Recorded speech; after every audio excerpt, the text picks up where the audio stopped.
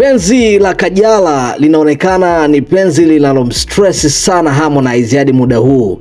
Moja kati ya kitu ambacho nimeweza kukinot kwa Harmonize, Harmonize kwa sasa anampenda sana Kajala na hawezi kumzungumzia vibaya hata kidogo. Jana Harmonize aliweza kuzungumza kuhusiana na eh, track zake jinsi anavyoziachia, lakini pia eh, mpangilio wake wa kuachia track na kusema mimi nimedate sana na eh, watu ambao hawana imani na, sawa na mimi. Nazungumzia eh, kwa upande wa Kristo. Harmonize ni Muislam by the way, japo alikuwa kwa Ton Kapola pale amepiga goti nini na kuomba sababu Mungu ni mmoja. So Konde design akazungumzia eh, mabinti ambao tayari ashawahi kutembea nao, lakini pale kwenye kwa Kajala kumzungumzia Kajala eh, akamtaja vizuri kwelikweli kweli na smile kubwa. So inawezekana kweli Konde akawa na mapenzi ya dhati sasa hivi na Kajala, na hii yote inatokana na zile mbanga ambazo alishawahi kukutana nazo hivi karibuni. E, mambo mengi ambayo amekutana nayo kwenye mahusiano yake yaliyopita. E, e, mambo ni mengi kweli kweli, lakini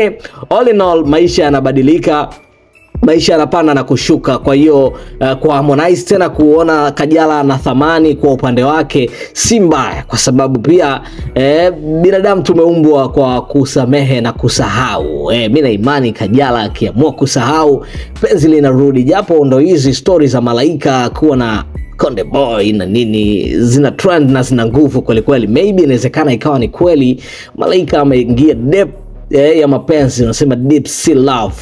Noma huko ni hatari.